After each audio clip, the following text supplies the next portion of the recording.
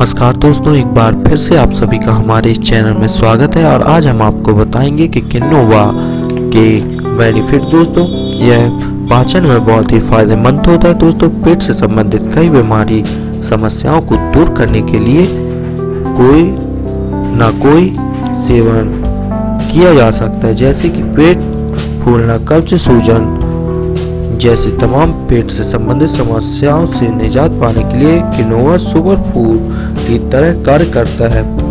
सुबह के नाश्ते में किनोवा का सेवन करने से आपका पाचन अच्छा रहता है और आप हल्का महसूस करते हैं। उम्मीद है दोस्तों, आपको दी गई जानकारी पसंद आई होगी। यदि आप हमारी यह वीडियो यूट्यूब पर देख रहे हैं तो चैनल को सब्सक्राइब कीजिए।